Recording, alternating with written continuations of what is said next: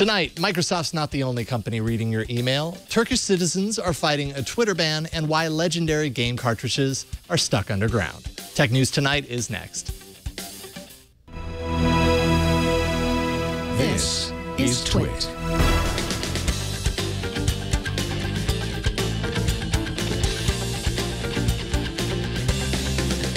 This is Tech News Tonight, episode 49 for Friday, March 21st, 2014. I'm Jason Howell. Let's get right to the tech feed. All right, first up, yesterday we reported on Microsoft's admission that it read a journalist's Hotmail account in an attempt to track down the source of an internal leak on Windows 8 source code. But Microsoft isn't alone. Webmail services from Apple, Yahoo, and Google are all reserved the right to read users' email if they believe that such access is necessary to protect their property.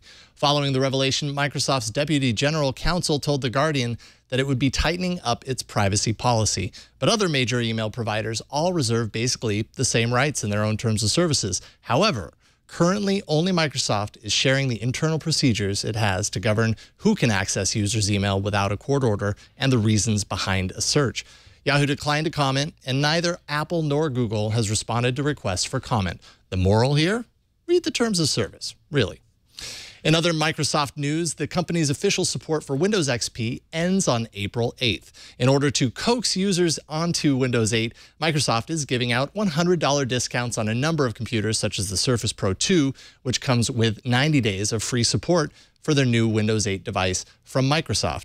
But those that don't upgrade, once general support for Windows XP ends, anyone using XP will be using an unpatched operating system that is incredibly insecure and vulnerable to exploits. Just imagine for a moment how many XP users will not understand that.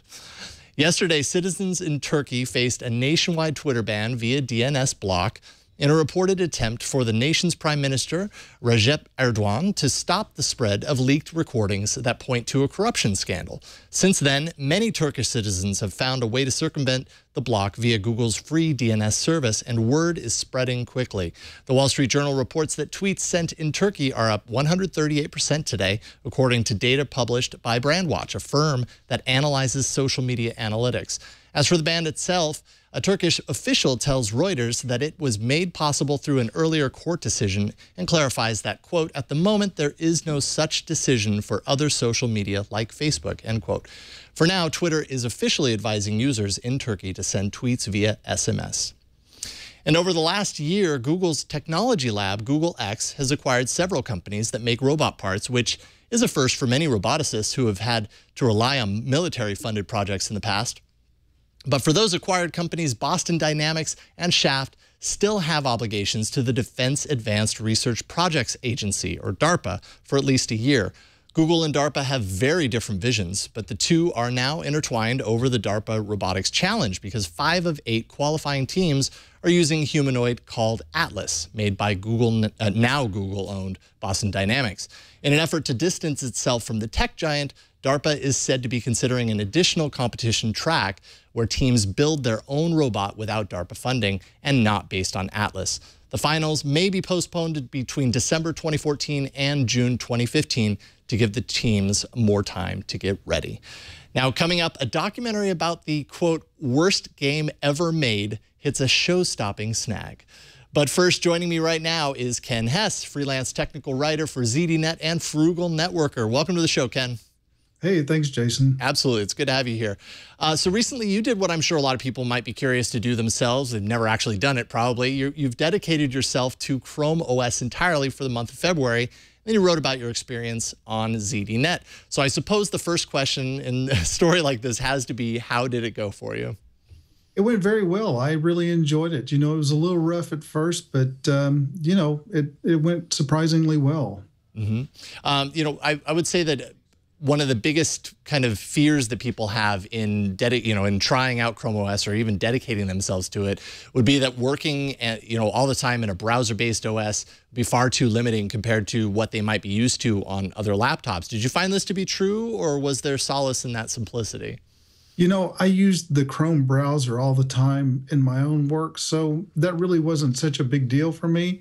The only thing that was really kind of annoying at first was editing images, mm-hmm. you know, mm-hmm. graphics. And, you know, I found Pixlr which is really a good app. And um, excuse me, that's what I used for uh, image editing. Sure. Were there any other any other kind of challenges, or I mean, it sounds like from from reading through your writing, uh, it was kind of a positive experience for the most part. It was very good. I didn't really have any other challenges because, like I said, I live most of my time in a browser, you know, online writing and uh, browsing the web and, and everything. The only thing was the image editing. Mm-hmm. And, um, you know, I got used to it. it. it. worked out very well. Sure. Now, the Chromebook that you used was the Acer C710, not necessarily a cutting edge, top of the line device. Uh, you can find them online for $200. How did the hardware that you used affect, affect your experience? You know, surprisingly, I didn't really notice. I mean, it's mm-hmm. instant on. As soon as you open the thing, it's it's on, it's ready. I log on and poof, you know, everything I need is there, which is a browser and all my apps, and they're all browser based. So I didn't really notice that there was any performance issues or or anything. Everything was instantaneous. Mm-hmm. Yeah, we were talking before the show about how you know a couple of years, both both you and I, you know, separately, obviously, uh, had our own experiences with Chrome OS where it wasn't that great, but then we came, we you know, looped around a few years later and tried it out. I'm now using the Chromebook Pixel. I'm a huge fan of the Pixel. Um, do you see yourself kind of switching to Chrome OS full time, or are you kind of going back to the old ways? No, you know, I think that um, for the most part, I'm going to use my Chromebook. Of course, I can't use it at work, but for my own personal use, I would probably use it 100% of the time, mm-hmm. except um, my wife bought me a Mac Mini several months ago, and I feel obligated to use it. So sure, it was that a makes... little pricey. So I mean, two hundred dollar Chromebook, eight hundred dollar yeah. Mac Mini. I mean, what are you going to do? And and you know the wife bought it for you, so you probably should give that some good use. Uh, and finally, the question that everybody wants to know after something like this: Do you recommend others do the same? Would you buy this for the person that you love or the person that you hate? Well, uh, funny you should ask. I gave my son one. He just graduated. Well, he's about to graduate from high school, and I gave him a, a, Chromebook, and he loves it. He was, uh, you know, we were both watching Netflix earlier on it. Mm-hmm. Um, he was watching a an episode of Archer, and I was watching something else on it. So, uh, you know, I love him, so I gave him one. I would probably give an enemy one too, uh, just so they might not be an enemy after right. that. yeah, that that and hey, they're they're pretty darn inexpensive, so you could probably afford to do so as well. Well, Ken, thank you so much for sharing your experience with us. Where can people find your work online? At ZDNet, uh, you can find me in the consumerization blog or the virtualization blog, and also on my own blog site called frugalnetworker.com. Uh, thank you so much, Ken. It was great having you on. No problem. Thank you. Absolutely.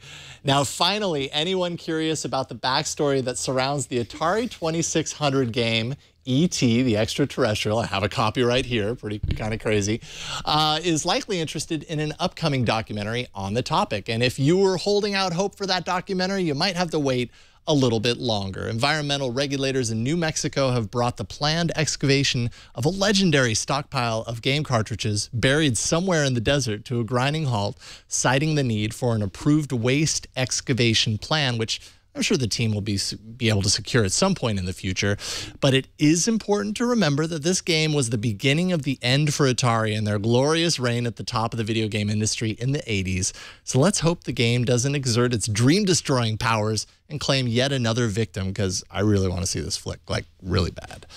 That's it for this edition of Tech News Tonight. You can subscribe to the show at twit.tv slash TN2 and write us, of course, at TN2 at twit.tv. Our next newscast will be Monday at 10 a.m. Pacific, 1 p.m. Eastern.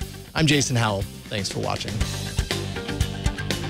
Bandwidth for Tech News Tonight is brought to you by CacheFly.com.